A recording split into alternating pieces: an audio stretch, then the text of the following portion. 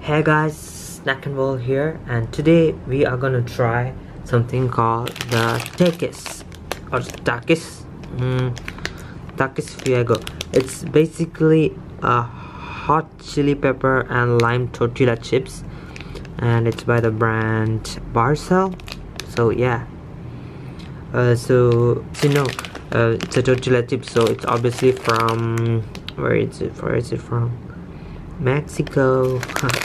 yeah, it's from Mexico, as you can see here. I like the color of the packet. It's like purple packets, and it looks like spicy. It looks kind of spicy. Not sure if it's gonna spicy or not, but yeah, really excited to try this. So let's open it. The hot chili pepper, lime, and tortilla chips. So let's open it. Wow! Wow! Check this out, guys. Oh Oh my gosh. You serious? Wow. This looks really awesome. Oh my god, check this out. It looks really spicy. Uh, it's something called the Takis. Uh, yeah, but it looks really spicy and I don't know. Wow. And I'm getting a really strong spicy uh, smell when I just put when I open this packet. So I'm pretty sure it's gonna be really spicy. Wow. Look at this guys. So it basically looks like some sort of like a tortilla chips but check this out. Wow.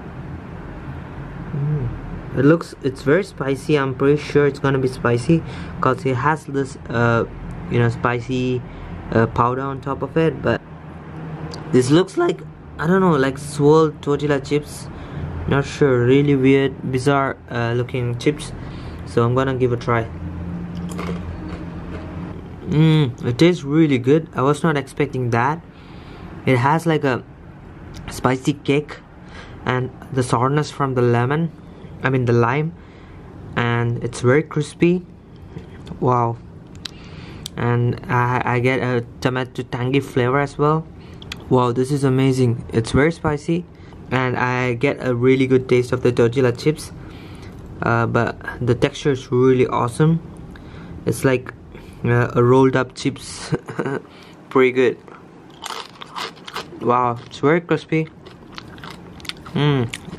Mm. it's kind of similar to a Cheetos but the Mexican Mexican flavored Cheetos but it's kind of different as well mm. oh yeah I can feel the spiciness on my throat so it's kind of spicy.